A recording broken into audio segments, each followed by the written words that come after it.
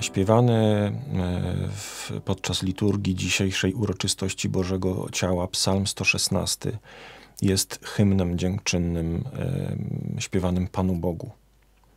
Cała dzisiejsza uroczystość, wszystko to, co czytamy, co śpiewamy, jest wielką manifestacją e, ciała i krwi Jezusa, tej najwspanialszej, tej największej ofiary, którą złożył po to, żebyśmy żyli, po to, żeby wyratować nas od śmierci. Czym zatem, e, jak pyta psalmista, odwdzięczę się Panu Bogu za dobro, które wyświadczył? Co takiego mogę zrobić? Czy jest ofiara, która może się równać z tą ofiarą? Czy jest taka wdzięczność, która może choć e, w małej kropli odwdzięczyć się za ten wielki dar, za uratowanie życia.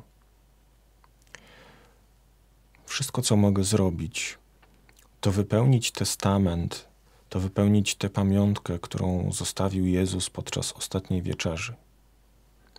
Wszystko, co mogę, to wznosić kielich zbawienia w imieniu Pana tak często, jak to tylko możliwe.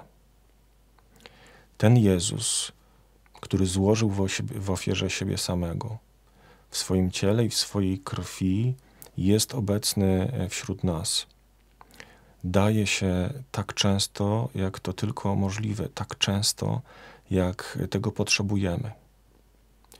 No więc niechże naszą wdzięcznością, naszą odpłatą za tę wielką ofiarę będzie ta bliskość z Panem każdego dnia, w każdej chwili bądźmy obecni, korzystajmy z darów ciała i krwi, które nam zostawił.